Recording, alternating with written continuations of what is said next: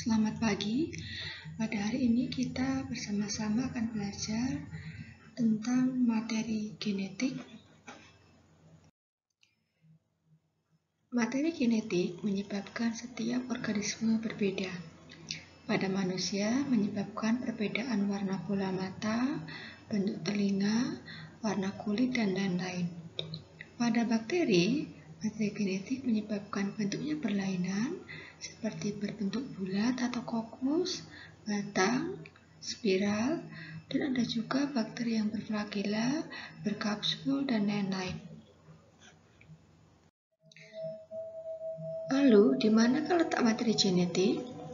Materi genetik pada bakteri terletak di nukleoid dan di dalam plasmid. Plasmid adalah DNA tambahan pada beberapa bakteri.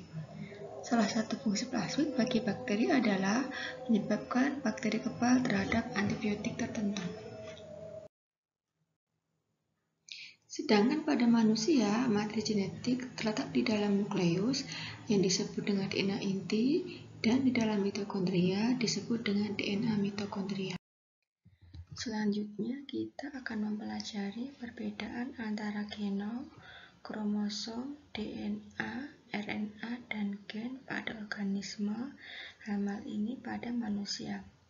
Sel eukariot seperti manusia memiliki banyak organel seperti mitokondria, retikulum endoplasma, ribosom, lisosom, inti sel, dan lain-lain. Kita berfokus pada inti sel. Jika inti sel kita buka, maka di dalamnya akan terdapat benang-benang halus yang disebut kromosom.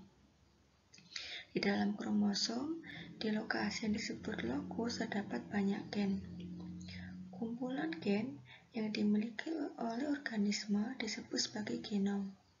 Jumlah gen masing-masing organisme berbeda, misalnya pada bakteri Haemophilus influenza memiliki 1700 gen, pada ragi Saccharomyces cerevisiae memiliki 6.000 gen dan pada manusia atau Homo sapiens memiliki 30.000 sampai dengan 40.000 gen. Kromosom jika diure maka akan terdapat pembawa informasi genetik yang disebut dengan DNA. Hasil transkripsi dari DNA disebut dengan RNA. Di dalam DNA terdapat rawan pendek yang disebut dengan gen. Gen ini berfungsi menyandi protein tertentu. Kromosom berasal dari kata kroma yang berarti warna dan soma yang artinya badan. Kromosom merupakan benang-benang panjang yang menyerap zat warna. Kromosom memiliki dua lengan atau kromatid yaitu lengan pendek P dan lengan panjang Q. Bagian-bagian kromosom terdiri atas telomer, lokus, dan sentromer. Telomer merupakan struktur yang ada pada ujung kromosom, berfungsi untuk melindungi kromosom dari kerusakan. Lokus adalah tempat gen berada, dan sentromer adalah bagian yang menghubungkan antara dua kromatid.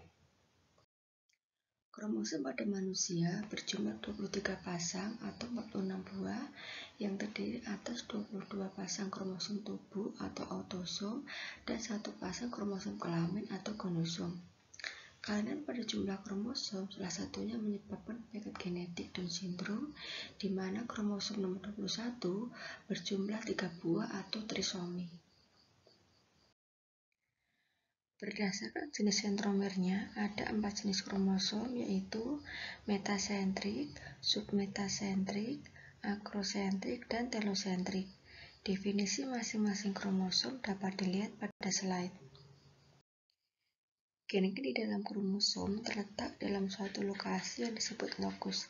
Sebagai contoh pada gambar di atas, Gen pengkode warna mata ada pada lokus yang berwarna biru pada lengan pendek kromosom dan gen pengkode warna rambut ada pada lokus yang berwarna pink pada lengan panjang kromosom. Gen-gen di dalam kromosom saling berpasangan atau berhadapan. Pasangan dari gen yang terletak pada lokus yang sama disebut sebagai alel.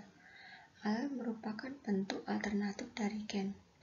Ada tiga jenis alel, yaitu alel homozigot dominan, homozigot resesif, dan heterozigot. Jenis alel menentukan fenotipe dari individu. Penjelasan sifat kardinal dapat dilihat pada slide. Materi genetik terdiri atas DNA, deoksiribonukleik acid, dan RNA ribonukleik acid. Keduanya tersusun atas nukleotida. Nukleotida terdiri atas tiga komponen, yaitu gula, basa, dan fosfat. DNA dan RNA berbeda pada beberapa hal. Satu, struktur. Dua, jenis gula. Tiga, jenis basa. Struktur DNA berupa untai ganda atau double helix atau double strand disingkat DS dengan arah 5 aksen ke 3 aksen pada untai 1 dan arah 3 aksen ke 5 aksen pada untai 2. Sedangkan RNA berupa untai tunggal atau single helix atau single strand disingkat SS dengan arah 5 aksen ke 3 aksen saja. Gula pada DNA disebut deoksiribosa karena kehilangan atom oksigen pada atom karbon nomor 2. Gula pada RNA disebut ribosa. Basa pada DNA terdiri atas purin dan pirimidin. Jenis basa purin pada DNA dan RNA adalah sama, yaitu adenin disingkat A dan guanin disingkat G. Sedangkan perbedaannya terdapat pada salah satu basa pirimidinya, yaitu basa timin pada DNA dan urasil pada RNA. Jadi, basa DNA terdiri atas A, G, C, T, adenin, guanin, sitosin, timin. Sedangkan pada RNA, A, G, C, U, adenin, guanin, sitosin, urasin. Berikut adalah ringkasan perbedaan antara DNA dan RNA. Basa-basa pada DNA dan RNA saling berpasangan melalui ikatan hidrogen. Pada DNA, basa A berpasangan dengan T melalui dua ikatan hidrogen. Sedangkan basa G berpasangan dengan C melalui tiga ikatan hidrogen. Hal ini juga berlaku pada RNA. Basa A dengan U dihubungkan oleh dua ikatan hidrogen, sedangkan basa G dengan C dihubungkan oleh tiga ikatan hidrogen. Nukleotida merupakan penyusun dari DNA dan RNA. DNA dan RNA tersusun atas banyak nukleotida sehingga disebut polinukleotida. Antara nukleotida yang satu dengan nukleotida yang lainnya dihubungkan oleh ikatan fosfodiester. Komplement adalah istilah untuk basa-basa pada DNA dan RNA yang saling berpasangan. Struktur DNA antiparalel adalah DNA terdiri atas dua untai. Untai satu memiliki arah 5 aksen ke 3 aksen dan untai 2 memiliki arah 3 aksen ke 5 aksen. Demikian materi kuliah yang dapat saya sampaikan. Terima kasih atas perhatiannya.